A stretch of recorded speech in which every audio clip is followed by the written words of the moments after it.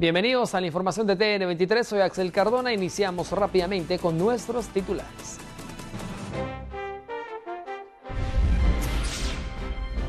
Nuevas carceletas de torre de tribunales estarán bajo responsabilidad del sistema penitenciario. Juez rechaza petición de Roberto Barreda de trasladarlo de centro carcelario y ordena reforzar su seguridad. Tres agentes de seguridad privada son capturados, señalados de violación y secuestro. Denuncias por extorsiones se redujeron en un 74% según estadísticas del Ministerio Público. En internacionales, convoy de la Marina Mexicana fue atacada en Sinaloa. El saldo, dos marinos y el atacante fallecidos. Bien, iniciamos de lleno con la información de carácter nacional y es que para evitar ser blanco de algunos asaltos y de la delincuencia común en Guatemala en estas fechas, las fuerzas de seguridad lanzan una serie de recomendaciones, entre ellas no publicar en redes sociales lo que está haciendo en esta época. Durante las festividades de fin de año, la Policía Nacional Civil prestará servicio a la población guatemalteca con más de 35 mil agentes. Las fuerzas de seguridad brindaron recomendaciones a las personas que aprovecharán estos días festivos para salir de sus hogares con el fin de evitar incidentes. La Policía Nacional Civil estará trabajando con todo su personal para resguardar la vida de todos los guatemaltecos y sus bienes. En estas fiestas de fin de año, los guatemaltecos, eh, muchos eh, salen a vacacionar, unos al interior del país, pero en su mayoría viajan hacia, hacia las playas a disfrutar. De esta manera la PNC se quedará resguardando también el sector capitalino y los distintos sectores a nivel nacional y también las playas. En este caso, la PNC recomienda a los guatemaltecos que no publiquen a través de sus redes sociales que van a salir de vacaciones. Si usted prefiere, puede acercarse a una subestación a recomendarle a los elementos policiales que hagan más rondas en ese sector porque usted saldrá de vacaciones y es así como la PNC estará resguardando eh, en estas fiestas de fin de año a los guatemaltecos y a sus bienes a través de la seguridad de prevención que estará realizando a nivel nacional, eh, tanto en operativos, tanto en recorridos de seguridad, a pie, en patrulla, en motocicleta, incluso hasta en bicicleta. Los patrullajes que la PNC realizará servirán para prevenir hechos delictivos. Los operativos serán realizados en barrios, centros de comercio y carreteras. Las autoridades hacen el llamado para denunciar cualquier ilícito por medio de las líneas de emergencia. Para TN23, con imágenes de Denis Zacarías, reporta Julio Hernández. Bueno, asimismo, tres agentes de seguridad privada fueron capturados por la Policía Nacional Civil. A estos se les señala de violación y secuestro. La Policía Nacional Civil capturó a tres presuntos violadores en operativos realizados este miércoles. Según las autoridades, los detenidos son sindicados de haber robado en una casa ubicada dentro de una colonia residencial de carretera El Salvador donde violaron y secuestraron a la víctima. La Unidad contra los Delitos Sexuales de la División Especializada en Investigación Criminal de la Policía Nacional Civil está reportando la captura de tres presuntos violadores, asaltantes y secuestradores que fueron detenidos en el sector del kilómetro 16 de la ruta a El Salvador. Es allí donde la Policía Nacional Civil reporta la captura de José Trinidad González de 41 años de edad, la de el señor Roberto Benjamín Valladares de 22 y la de Óscar Aníbal Ramírez Sánchez de 27 años. Estas detenciones se llevaron en ese sector ya que estas personas son los presuntos responsables de haber tomado por asalto, de haber violado a unas personas que se encontraban dentro de su domicilio en unas eh, colonias residenciales en el kilómetro 16.5 de la ruta a El Salvador. Los delincuentes obligaron a las víctimas a sacarlos de la colonia residencial, escondidos dentro de su vehículo. Los tres indicados son trabajadores de una empresa de seguridad privada, según informó la PNC. Estas personas, además de haber cometido estos hechos delincuenciales, forzaron a la víctima a conducir su propio vehículo para poder salir de la colonia residencial, ya que tenían que salir en la garita de acceso de esa colonia. Luego es conducido hacia Santa Rosa, lugar donde descargan el producto que robaron, son cosas de valor del domicilio. Dejaron sana y salva a la víctima en ese lugar abandonada juntamente con su vehículo y hoy la Policía Nacional Civil está capturando a estas tres personas que se les indica de los delitos de violación con agravación de la pena, de robo agravado, desplagio o secuestro con circunstancias de agravación, orden de aprehensión que fue emanada por el juzgado contra el femicidio y otras formas de violencia contra la mujer. Bueno, denuncias por extorsiones se redujeron en un 74%, según estadísticas eh, que han dado a conocer el personal del Ministerio Público. A un día de cerrar el 2015, el Ministerio Público registra una reducción del 74% en el número de denuncias por extorsión. Estadísticas del ente investigador revelan que durante el 2014 se contabilizaron 8.407, mientras que de enero a la fecha se tienen 4.830. La razón por la cual se registra dicho descenso es por la desarticulación de 23 estructuras que se dedicaban a cometer dicho ilícito. No hemos finalizado el año 2015, sin embargo hemos recibido 4.830 denuncias a nivel nacional por el delito de extorsión. Es realmente una cifra inferior a la registrada en el año 2014, que fue de 8.407 denuncias. Em, esta reducción en las denuncias se debe a que precisamente este año la Fiscalía operativizó muchos casos que ya traían investigación y eh, se trata específicamente de estructuras, la mayoría integrada por más de 10 personas. La aplicación para celulares que fue lanzada por el MP para denunciar a extorsionistas es exitosa. De ella se han recibido 852 reportes. De esta cuenta hemos recibido un reporte de 852 eh, denuncias, es decir, 852 personas han reportado esa misma cantidad de números de teléfono de donde habrían recibido em, alguna extorsión. Asimismo, hemos recibido 861 reportes por medio del 1574, que es la línea contra las extorsiones, y 11 guatemaltecos también han hecho denuncias por medio de la página web, que es inmediato y es un servicio disponible y al alcance de cualquier persona que en ese momento pueda tener eh, acceso a Internet y por supuesto a nuestra página web. Guatemala, Quetzaltenango, Escuinta y Suchitepeques concentran la mayor parte de denuncias. Los grupos afectados por las extorsiones son transportistas, comerciantes y particulares.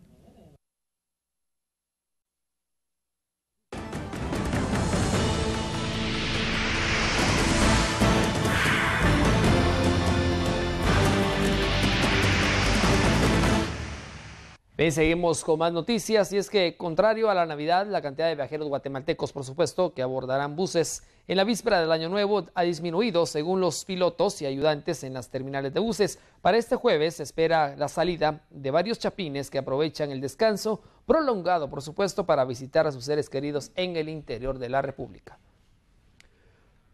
Bueno, más de 100.000 feligreses se prevé asistan al servicio religioso para celebrar el Año Nuevo en Catedral Metropolitana. Las actividades litúrgicas darán inicio a las 6 de la tarde mañana. Encargados de Catedral Metropolitana estiman que más de 100.000 feligreses se darán cita el 1 de enero para celebrar el Año Nuevo en las distintas misas que se tienen programadas durante el día. Según la agenda de actividades, los eventos litúrgicos iniciarán a las 6 de la mañana. En cada hora y media se desarrollará un evento religioso. Como es tradición, se distribuirán entre los asistentes más de 30.000 bolsitas, las cuales contienen tres monedas bendecidas y una oración a Jesús sacramentado. Las monedas representan la petición al Creador para que no falte salud, trabajo y techo a las familias. Además, es un símbolo de compromiso que se guarda durante un año para mantener la fe, la esperanza y el amor con los semejantes. Para el mediodía se tiene programada la misa mayor, la cual será oficiada por el arzobispo metropolitano Óscar Julio Bian, derivado que las fiestas de fin de año se unen al primer fin de semana del 2016. La cifra de asistentes podría superar la de años anteriores. Reporta José Luis de León y Daniel Collín. Bueno, ya solo un día de recibir el año nuevo, los guatemaltecos comparten cuáles son los propósitos planteados para el próximo año, para el 2016. Muchos jóvenes piensan en ser mejores personas, estudiar, superarse y aprovechar las oportunidades que se les presenten. Pues mejorar como persona, hacer mejores actos para los más necesitados. Mejorar como persona, seguir estudiando y ser mejor persona para mis padres. Muchos guatemaltecos tienen como propósito conservar sus trabajos y mencionan que esperan que este nuevo gobierno genere más empleo. Pues yo creo que primero la salud, eh, bienestar para todos, ¿verdad? Y que todo nos vaya bien en este, en este año. De tener mucho trabajo y, y que pues toda la empresa, ¿verdad? Todas las personas de la empresa pues tengan trabajo y que haya más trabajo en Guatemala también con este nuevo cambio de gobierno que hay. La unión familiar, ¿verdad? Que es muy importante. Eh, y sí, trabajo, eh, salud.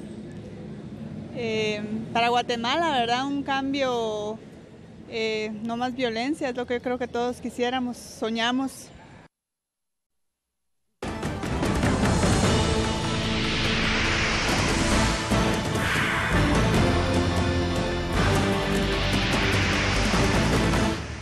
Gracias, gracias por continuar con nosotros. Seguimos con más noticias. Luego que fuera publicado en el diario oficial el salario mínimo, organizaciones sindicales se mostraron pues en desacuerdo con el mismo.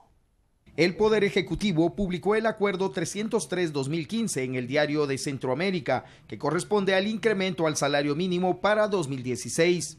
El aumento salarial oscila entre el 3.5 y 4% para actividades agrícolas, no agrícolas, exportadoras y maquilas respectivamente.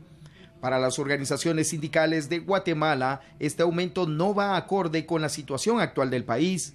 En promedio, 95 quetzales con 76 centavos diarios será para actividades agrícolas y no agrícolas, y 77 quetzales con 3 centavos para actividades de exportación y maquila diarios, tomando en cuenta que el costo de la canasta básica supera los 5 mil quetzales al mes. El, el Estado de Guatemala, a través de sus diferentes gobiernos,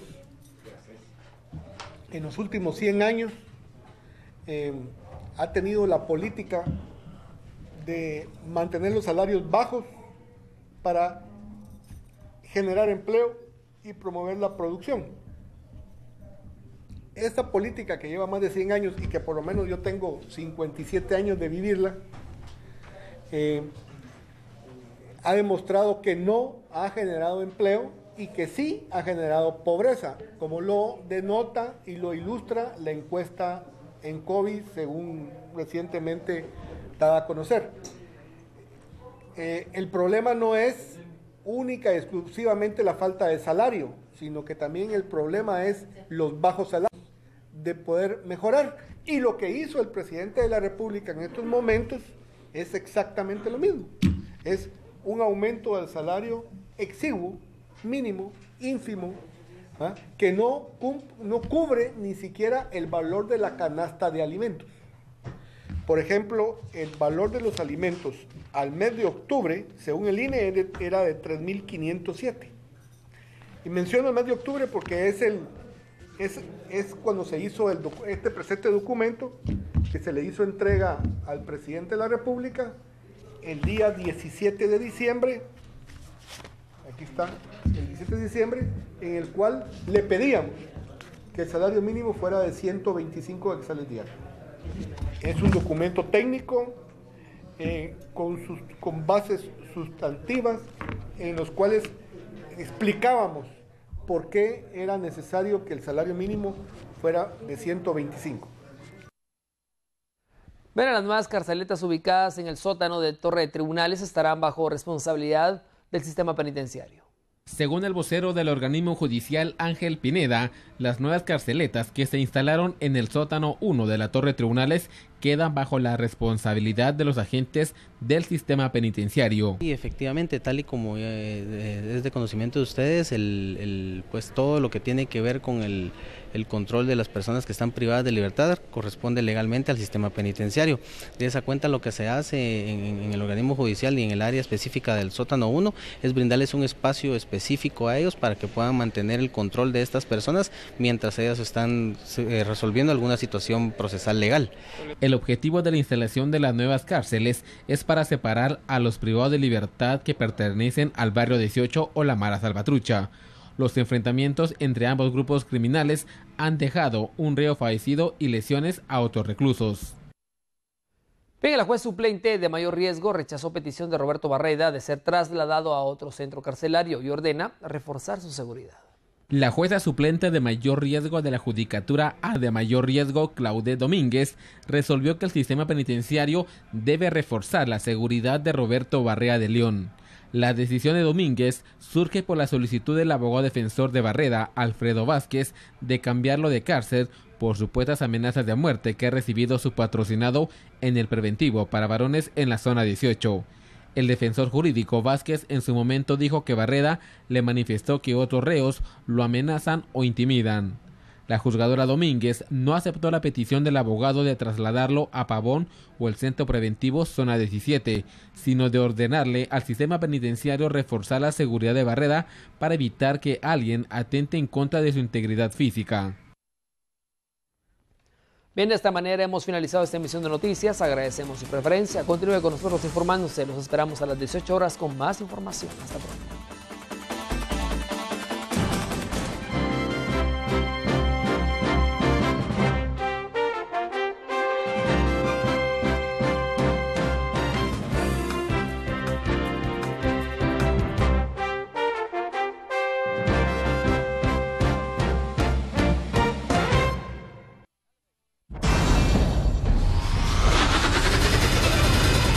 Durmió con el cadáver de su padre. ¿Se imagina dormir con un cadáver durante días? Eso fue lo que hizo un joven que asesinó a su padre. Su testimonio le hiela la sangre a cualquiera. Durante años una mujer se ha sometido a la tortura de un corsé para tener una cintura de avispa. Su afición por el bisturí es sorprendente. Ha sido víctima de la enfermedad y el abandono, pero no se rinde ante la adversidad y tiene más de un empleo. El exfutbolista Cuauhtémoc Blanco prueba suerte en la política y nos confiesa cuál es su mayor deseo para el 2016. Nuestro Yomari Goizo salió a las calles para averiguar cuáles son los propósitos de nuestra gente para el nuevo año. Esto y más ahora mismo en Primer Impacto. Saludos, bienvenidos a Primer Impacto. Soy Bárbara Bermudo. Yo soy Pamela Silva Conde. Gracias por acompañarnos. Y la historia que verán a continuación le pone a cualquiera los pelos de punta. Un joven en Colombia mató a su padre de forma sanguinaria y durmió varios días con su cadáver. Adriana Villamarín nos trae los perturbadores detalles de este crimen que es sin duda atroz. Tras las rejas de la cárcel de La Picote en las afueras de Bogotá, Jason Ismael Beltrán sigue convencido de que asesinó a su padre, impulsado por un designio del destino. Acepto que una vez lo soñé. Una vez soñé que lo mataba. Con una frialdad que hiela los huesos, este técnico en sistemas de 29 años reconoce que con sus propias manos asesinó a su padre de 70 años. Y lo mató, no uno. De poder mejorar. Y lo que hizo el presidente de la República en estos momentos es exactamente lo mismo. Es un aumento del salario exiguo, mínimo, ínfimo, ¿ah? que no, no cubre ni siquiera el valor de la canasta de alimentos. Por ejemplo, el valor de los alimentos al mes de octubre, según el INE, era de 3.507. Y menciono el mes de octubre porque es el, es, cuando se hizo este presente documento que se le hizo entrega al presidente de la República el día 17 de diciembre, aquí está, el 17 de diciembre, en el cual le pedíamos que el salario mínimo fuera de 125 quetzales diarios. Es un documento técnico eh, con, con bases sustantivas en los cuales explicábamos por qué era necesario que el salario mínimo fuera de 125. Ver, las nuevas carceletas ubicadas en el sótano de Torre de Tribunales estarán bajo responsabilidad del sistema penitenciario. Según el vocero del organismo judicial Ángel Pineda, las nuevas carceletas que se instalaron en el sótano 1 de la Torre Tribunales quedan bajo la responsabilidad de los agentes del sistema penitenciario. Y efectivamente, tal y como eh, es de conocimiento de ustedes, el, pues todo lo que tiene que ver con el, el, control de las personas que están privadas de libertad corresponde legalmente al sistema penitenciario. De esa cuenta lo que se hace en, el organismo judicial y en el área específica del sótano 1 es brindarles un espacio específico a ellos para que puedan mantener el control de estas personas mientras ellas están eh, resolviendo alguna situación procesal legal. El objetivo de la instalación de las nuevas cárceles es para separar a los privados de libertad que pertenecen al barrio 18 o la Mara Salvatrucha. Los enfrentamientos entre ambos grupos criminales han dejado un reo fallecido y lesiones a otros reclusos. Bien, la juez suplente de mayor riesgo rechazó petición de Roberto Barreda de ser trasladado a otro centro carcelario y ordena reforzar su seguridad. La jueza suplente de mayor riesgo de la Judicatura A de mayor riesgo, Claude Domínguez, resolvió que el sistema penitenciario debe reforzar la seguridad de Roberto Barrea de León. La decisión de Domínguez surge por la solicitud del abogado defensor de Barreda, Alfredo Vázquez, de cambiarlo de cárcel por supuestas amenazas de muerte que ha recibido su patrocinado en el preventivo para varones en la zona 18.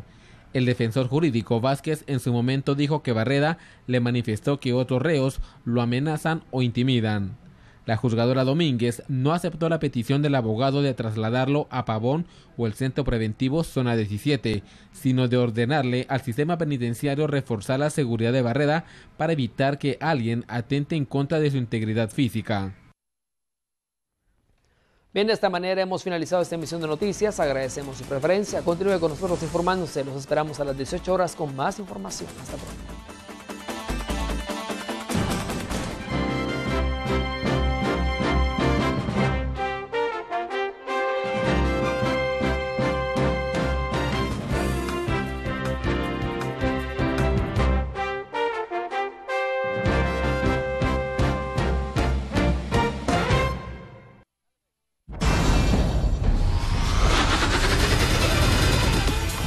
Con el cadáver de su padre. ¿Se imagina dormir con un cadáver durante días? Eso fue lo que hizo un joven que asesinó a su padre. Su testimonio le hiela la sangre a cualquiera. Durante años una mujer se ha sometido a la tortura de un corsé para tener una cintura de avispa. Su afición por el bisturí es sorprendente. Ha sido víctima de la enfermedad y el abandono, pero no se rinde ante la adversidad y tiene más de un empleo. El exfutbolista Cuauhtémoc Blanco prueba suerte en la política y nos confiesa cuál es su mayor deseo para el 2016. Nuestro Yomari Goizo salió a las calles para averiguar cuáles son los propósitos de nuestra gente para el nuevo año. Esto y más ahora mismo en Primer Impacto. Saludos, bienvenidos a Primer Impacto. Soy Bárbara Bermudo. Yo soy Pamela Silva Conde. Gracias por acompañarnos. Y la historia que verán a continuación le pone a cualquiera los pelos de punta. Un joven en Colombia mató a su padre de forma sanguinaria y durmió varios días con su cadáver. Adriana Viamarín nos trae los perturbadores detalles de este crimen que es sin duda atroz. Tras las rejas de la cárcel de la Picota en las afueras de Bogotá, Jason Ismael Beltrán sigue convencido de que asesinó a su padre, impulsado por un designio del destino. Acepto que una vez lo soñé. Una vez soñé que lo mataba. Con una frialdad que hiela los huesos, este técnico en sistemas de 29 años reconoce que con sus propias manos asesinó a su padre de 70 años. Y lo mató no una, sino tres veces. La primera con un ladrillo. Cogí el ladrillo a esta parte y se lo pegué en la cabeza. Él cayó a la cama, tenía una gorra puesta, la gorra no se le... De poder mejorar. Y lo que hizo el presidente de la República en estos momentos es exactamente lo mismo. Es un aumento del salario exiguo, mínimo, ínfimo, ¿ah? que no, no cubre ni siquiera el valor de la canasta de alimentos. Por ejemplo, el valor de los alimentos al mes de octubre, según el INE, era de 3.507. Y menciono el mes de octubre porque es el, es, es cuando se hizo el, este presente documento que se le hizo entrega al presidente de la República el día 17 de diciembre, aquí está, el 17 de diciembre, en el cual le pedíamos que el salario mínimo fuera de 125 exales diarios. Es un documento técnico eh, con, sus, con bases sustantivas en los cuales explicábamos por qué era necesario que el salario mínimo fuera de 125. Verán, las nuevas carceletas ubicadas en el sótano de Torre de Tribunales estarán bajo responsabilidad del sistema penitenciario. Según el vocero del organismo judicial Ángel Pineda, las nuevas carceletas que se instalaron en el sótano 1 de la Torre Tribunales quedan bajo la responsabilidad de los agentes del sistema penitenciario. Y efectivamente, tal y como eh, es de conocimiento de ustedes, el, el, pues todo lo que tiene que ver con el, el control de las personas que están privadas de libertad corresponde legalmente al sistema penitenciario. De esa cuenta lo que se hace en, en, el organismo judicial y en el área específica del sótano 1 es brindarles un espacio específico a ellos para que puedan mantener el control de estas personas mientras ellas están eh, resolviendo alguna situación procesal legal. El objetivo de la instalación de las nuevas cárceles es para separar a los privados de libertad que pertenecen al barrio 18 o la Mara Salvatrucha. Los enfrentamientos entre ambos grupos criminales han dejado un reo fallecido y lesiones a otros reclusos. Bien, la juez suplente de mayor riesgo rechazó petición de Roberto Barreda de ser trasladado a otro centro carcelario y ordena reforzar su seguridad. La jueza suplente de mayor riesgo de la Judicatura A de mayor riesgo, Claude Domínguez, resolvió que el sistema penitenciario debe reforzar la seguridad de Roberto Barrea de León. La decisión de Domínguez surge por la solicitud del abogado defensor de Barreda, Alfredo Vázquez, de cambiarlo de cárcel por supuestas amenazas de muerte que ha recibido su patrocinado en el preventivo para varones en la zona 18. El defensor jurídico Vázquez en su momento dijo que Barreda le manifestó que otros reos lo amenazan o intimidan. La juzgadora Domínguez no aceptó la petición del abogado de trasladarlo a Pavón o el centro preventivo Zona 17, sino de ordenarle al sistema penitenciario reforzar la seguridad de Barreda para evitar que alguien atente en contra de su integridad física. Bien, de esta manera hemos finalizado esta emisión de noticias. Agradecemos su preferencia. Continúe con nosotros informándose. Los esperamos a las 18 horas con más información. Hasta pronto.